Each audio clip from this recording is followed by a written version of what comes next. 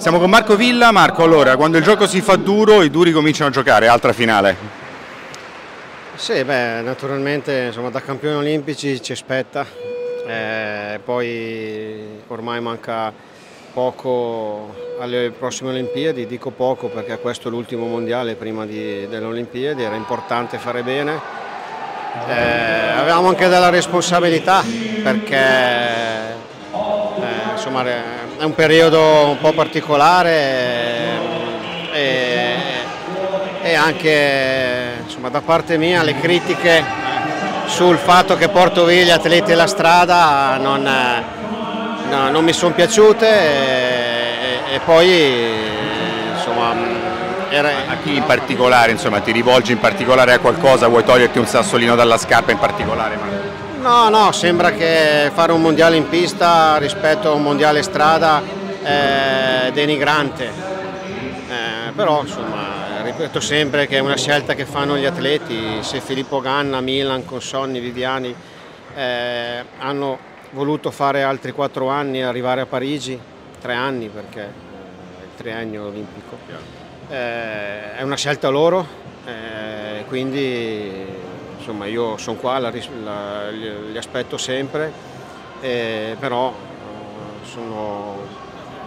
Eh, ci sei rimasto male insomma, da parte di, di, certe critiche, certo è anche vero però che la concomitanza di certi eventi mondiali come quest'anno, questa invenzione nuova, un po' inedita, no? di mettere insieme tutti i mondiali non agevola la multidisciplinarità.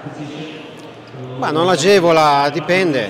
Eh, io continuo a ripetere che dà più fastidio a un Filippo Ganna la gara su strada domenica di 270 km se vuole provare a rivincere la crono eh, 5 giorni dopo che le, queste, quattro, queste, tre prove di 4 km al giorno su, su pista. Stamattina Pippo è uscito su strada, eh, adesso qua ha fatto riscaldamento e 4 km questi sforzi credo che per uno cronometro li facciano molto bene. Chiaro, per la crono sì, per la prova su strada ovviamente no e forse questa è un po' la, la vicinanza di certi eventi. No? Ho capito, però lui voleva fare la crono, è, dal, è dall'inizio dell'anno che ha deciso di, di puntare a, a, provare a rivincere il mondiale a crono uh mhm. -huh. e a mio modo di vedere i 270 km di domenica un po' disturbano uno che vuole, vuole provare a vincere la cronometro. Dopo però invece dà sempre fastidio la pista rimanendo invece sulla pista, vedendo, insomma, passando le cose eh, liete, diciamo così, altra finale, ancora con la Danimarca, quindi ci si rincontra, parlando, parlavamo anche di Olimpiadi.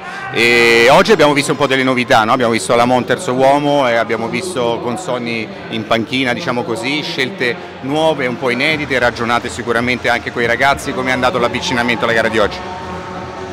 No, Simone dal Giro d'Italia non ha ancora recuperato bene la sua condizione, ha provato a staccare, ha provato a riprendere, addirittura fino a dieci giorni fa era, lui stesso si, si metteva in, in, discussione, poi eh, al Giro di Bologna ha avuto qualche segnale di ripresa, ha voluto venire qua, ieri mi serviva un, un campione olimpico di carattere, perché affrontavamo una qualifica dove non avevamo parametri, andavamo un po, a, un po a fare una prova nel buio e quindi si è messo a disposizione.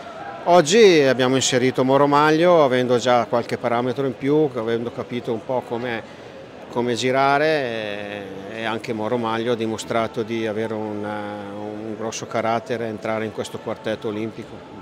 Rapporti, scelta dei rapporti, oggi avete usato i rapporti olimpici sempre per capirci, 60, 63 mi pare? 63-14 Ganna, Lamone, Moro Maglio e 64 Milan come a Tokyo.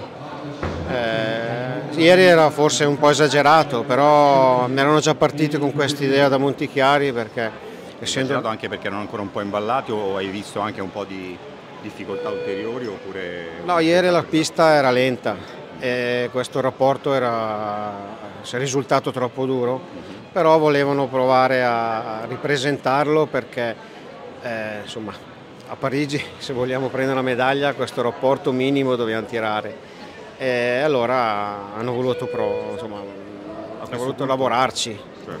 Ieri era troppo azzardato, oggi alzando i ritmi eh, si è dimostrato già, già un buon rapporto. Un rapporto poi soprattutto in vista di domani, Marco, ultima domanda, gran finale, quindi ancora contro la Danimarca. Chi vedremo? Il quartetto di oggi confermato? Cosa ti passa per la testa e cosa ti passerà a lungo insomma, tra stanotte e domani?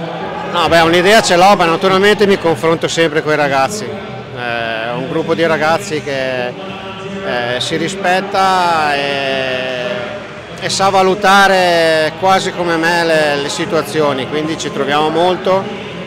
Abbiamo tutto il tempo domani mattina per, eh, per far colazione assieme, per ragionarci. Insomma, oggi non, Oggi li mando a letto senza parlarci. Puoi dire in sintesi com'è la, la, serata e la giornata di domani del quartetto d'oro, del quartetto olimpico di, di, Tokyo e adesso di nuovo nuovamente in finale qui al campionato del mondo. Stasera? Ma io stasera adesso ho la finale dello scratch della Martina Finanza, quindi arriverò più tardi in albergo. Eh, non so se li trovo a cena, qualcuno sarà già a letto o a fare i massaggi. Eh, camera dei massaggi non entro mai e quindi li trovo domani, domani mattina. E poi domani mattina rifinitura in pista? E... No, stamattina sono usciti a fare un paio d'ore su domani strada. Mattina uguale? Domani mattina credo di sì, sì, sì.